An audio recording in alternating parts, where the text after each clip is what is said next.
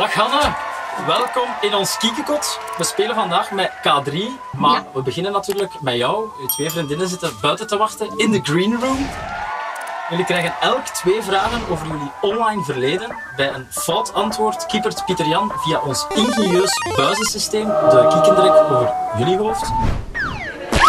Maar bij een juist antwoord komt de kiekendrek op mijn hoofd terecht. Welkom bij de Kiekekot quiz. Hoe is het? Goed. Ik moet even eerlijk bekennen, van alle K3'tjes zijn hij mijn eh, favoriete. Hey, hey, hey, hey. Wie is de beste quizzer van jullie drie? Mm, ik denk Marten. Wie maakt er de meeste mopjes van jullie drie? Ik denk Klaasje. Is dat de comedienne van de groep? Ja, maar Marten ook. Marten is meer zo de, eh De droge donkere humor en zo droge humor. Kunt je zo geen mopje vertellen om mij eens aan het lachen te brengen? Met die paarden. Nee, dan ken ik de clue niet. Allee, dat- Ik had zoiets een mop verteld en die was, ik was ineens de clue kwijt. Dat is gewoon een verhaal dan eigenlijk. Wat- Wat plezant is bij K3, dat is er aan te zien, want er wordt daar precies nogal wat afgelachen. Frisse neus halen. Ophalen, zeggen ze toch, hè? Nee, halen. Halen, frisse neus halen. Wacht, ik haal hem even. Dat dat niet doen.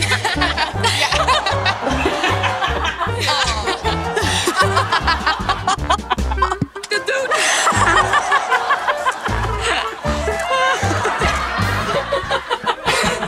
Hebben jullie eens al gedacht aan een comedy tour? Meestal in de show steken wel wat grapjes, Ja. maar ik weet niet of de mensen die ook grappig vinden. Wij vinden dat vooral heel grappig. Ja. Wacht, ik moet even naar buiten. eh. Ah, Sorry, ik was even eh, een eh, frisse neus gaan halen naar buiten. Nee. Een mopje. Geslaagd? Kan beter. Maar hier ziet die neus er heel anders uit. Oei. Ja, hopelijk kan je ook nog lachen na de volgende vraag. Want op welke leeftijd lachen mensen het vaakst? Is dat A in het eerste en tweede leerjaar? B in het derde en vierde leerjaar? Of C in het vijfde en zesde leerjaar? Het gaat hier eigenlijk over de gelukkigste periode in hun leven. Ik denk B. Ik zou voor A gaan. Ah, ik twijfel tussen A en B. Je gaat voor B. Ja, ik ga wel B. Antwoord B. Ik zou zeggen, en ik zeg het ook, PJ, drop de drek! Nee, dat heb ik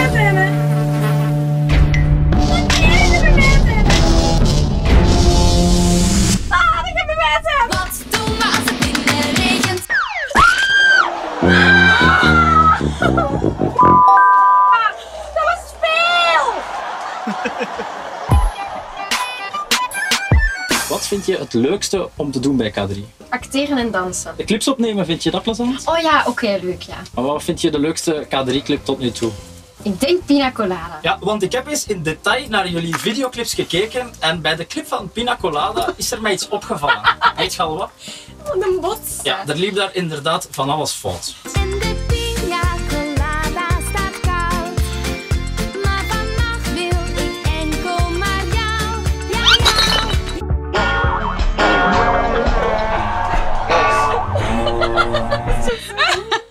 Is mooi om te zien dat jullie eh, af en toe de koppen eens bij elkaar steken eh, bij K3. Van eh, kopstoten weten jullie alles, maar eh, welke voetballer deelde een kopstoot uit in de WK-finale van 2006 en mocht meteen met een rode kaart in de kleedkamer een frisse neus gaan halen? Maar wat voor een vraag is dat nu? Ja, jullie zijn toch eh, van de kopstoot? Is dat A. Ronaldinho, B. Marco Materazzi of is dat C. Zinedine Zidane? Marten, jij weet dat, hè? Kijk, geen hulplijn, soms doen jullie dat toch? Maar wij weten het ook niet. B dan. We gaan het zien. Pieter Jan, drop de drek!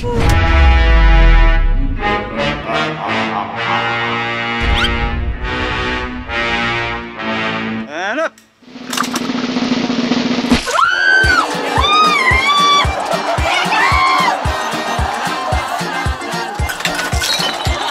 Juiste antwoord was C. Zinedine Zidane. Bedankt voor jouw deelname. Je mag buiten even een frisse neus gaan halen. Ziezo, je had wel twee foute antwoorden, Het waren ook zo moeilijke vragen. maar jullie weten toch alles over kopstoten? Misschien moeten we nog eens een geven. Bedankt voor je deelname. Ga maar naar de green room. Ziezo, de nieuwe kandidaten. Dat Dag Marten, Hallo. heb je er nog zin in? Ja? Wat vond je van de prestatie van Hanne? Het waren wel echt moeilijke vragen. Ja? Wat ik mij afvraag, wie is zo de speelvogel bij K3? Klaasje. Maar doe jij vaak onnozel? Eigenlijk niet. Ik denk dat ik een beetje het serieus ben. Ja? Ik heb nogthans eens alle vlogs van K3 bekeken, maar er was iets heel grappig dat mij opviel. Weet je wat? Nee. Dat jij een echte Jacques Vermeijden blijkt te zijn. Ah, nee, gekke Want je kunt soms. serieus wat smoelen trekken.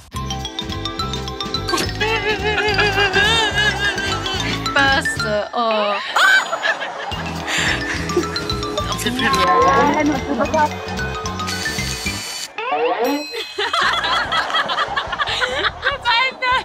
Zullen we samen eens een uh, smoel trekken? Eh? Waar komt die expressiviteit? Mensen weten niet vaak hoe ik me echt voel van binnen. En ik denk dat dat zoiets is om zo te tonen, het gaat goed, denk ik. Ja, als smoelentrekker weet je als geen ander dat om een goede smoel te kunnen trekken, dat je alle spieren in je gezicht moet gebruiken. Ja. Dus de vraag is ook vrij makkelijk. Hoeveel spieren heeft een menselijk gezicht? Is dat A, 240, B, 50 of C, 58? Ik twijfel tussen B en C. Ik ga voor... C. We gaan het zien. Nee! Pieter Jan. Drop de drek.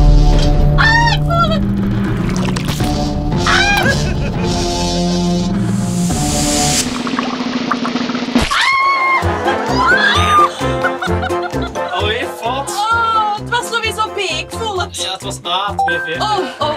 Oh, ook weer naar hoog. Ja. Misschien nog één keer een uh, smoeltruc. Geef je graag interviews? Nee. Nee? Iedereen moet alles weten van mij, zo daarom vind ik dat minder. Ja. Zijn er iemand die zich hard aantrekt als ze zoiets schrijven over u dat niet klopt of dat je niet leuk vindt? Mm, in het begin wel, maar nu heb ik dat zo'n beetje losgelaten omdat ze schrijven toch wat ze willen. Krijg je ook vaak gekke vragen van journalisten? Hm, dat valt eigenlijk mee. Nochtans, ik heb eens wat interviews van jullie bekeken en soms zijn daar toch wel gekke vragen bij. Oei. Als jullie over de straat lopen, wat is het gekste moment dat er al gebeurd is? Oh, ik denk misschien dat ze langs achter mijn naam roepen. Dus dat ze mij echt langs achter herkennen. Dat vind ik soms wel een beetje gek. Word je vaak langs achter benaderd?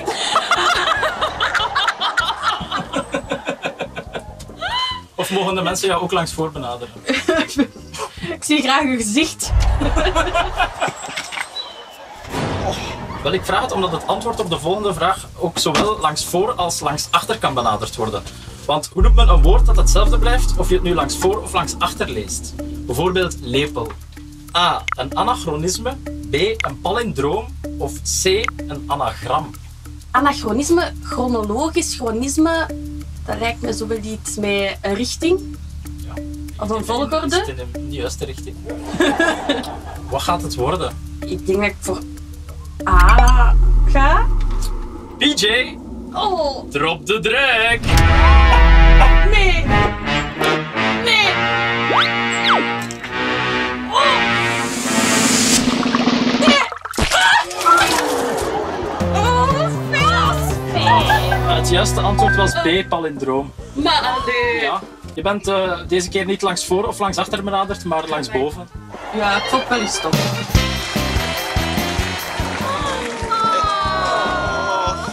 Zeg eens, Marten, ga je hier nog eh, vannacht over palindromen? Ehm, Bedankt, Marten, voor je deelname. Het was zeer indrukwekkend. Ga maar naar de Green Room. Ziezo, dat betekent ook dat we overgaan naar de volgende speelster, Klaasje. Kom maar. Oh, gezellig. Ja. Ja. Dag Klaasje. Ja, ik moet het bekennen, eh, Ja. jij bent mijn favoriete kadrietje. Hé, Oh. dat zeg je daarnet tegen mij ook. Maarten en Hanna, alle twee nul antwoorden juist. Ga jij het beter doen? Eh, ik hoop het. We kunnen er natuurlijk niet omheen. Jij hebt onlangs eh, jouw afscheid bij K3 aangekondigd. Ja. We kijken nog even terug naar dit emotionele moment. Oh, Klaasje heeft besloten om K3 te verlaten. Over het hoe en het waarom. En wie is Klaasje? Oeh, foei. Iemand die dat vraagt, die hoort hier eigenlijk niet te zitten. Maar goed. Eh. Klaasje is de blonde. Ja, Klaasje, of moet ik zeggen de blonde. ja, mag ook. Hoeveel spijt heb je al van je beslissing? Nou, dat beter vroeger. Moet ik hier antwoord geven? Ja, ik geniet met volle teugen van dit laatste jaar. Vandaag een beetje minder. Op welk moment wist je dat je ermee wou stoppen? Ik denk dat het vorige zomer wel een beetje begon. Ik heb voor mezelf wel echt bedacht van oké, hoe voelt het als ik het nog een hele tijd ga doen? En hoe voelt het als ik het ga afronden?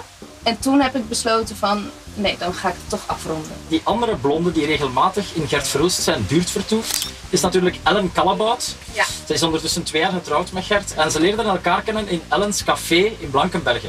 Maar hoe heet dat café? Is dat A. Le Grand Café, B. Café Mama C of C. Le Petit Café? Wat erg dat ik dat niet weet. Eh, ik ga voor A. Doe eens gek. Oh, YOLO! Le Grand Café? Ja, Le ben je Grand zeker? Café, ja. Oké. Zeker. Pieter Jan, drop de drek!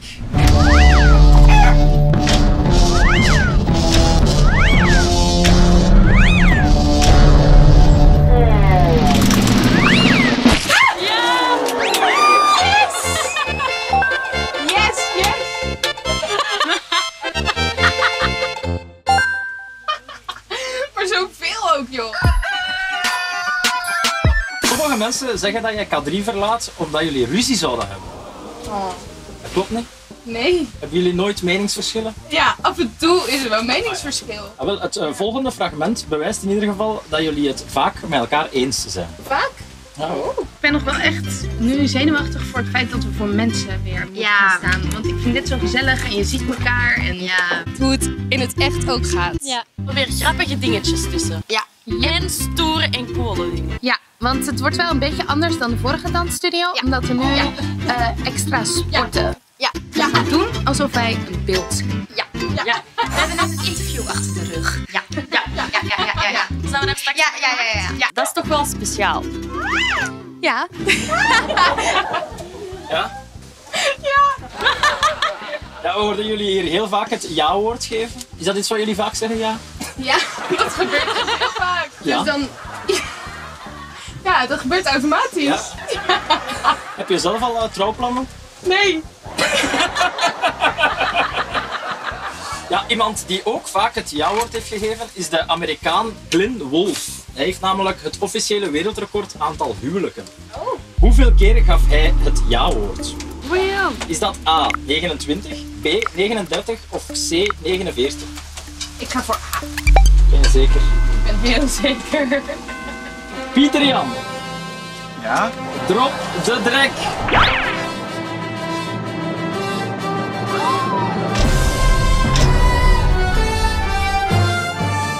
Please. Oh! Het was inderdaad A29.